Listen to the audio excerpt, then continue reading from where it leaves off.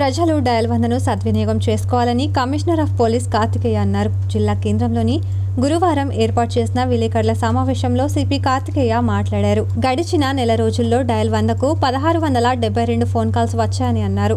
అందులో bodily offences నలభై ఏడు రోడ్డు ప్రమాదాలు ఐదు వందల పద్నాలుగు ఆస్తి దొంగతనాల కింద ఇరవై మూడు కేసులు ఆత్మహత్యలు ఆత్మహత్య యత్నాలు ముప్పై మూడు కేసులు ఇతరత్ర కేసుల కింద వెయ్యి ముప్పై తొమ్మిది తప్పుడు ఫోన్ కాల్స్ కింద పదహారు వచ్చాయని మొత్తం పదహారు వందల డెబ్బై రెండు ఫోన్ కాల్స్ వచ్చాయని సిపి వివరించారు. తప్పుడు కాల్స్ చేస్తే చట్టరీత్యా చర్యలు తీసుకుంటామని హెచ్చరించారు.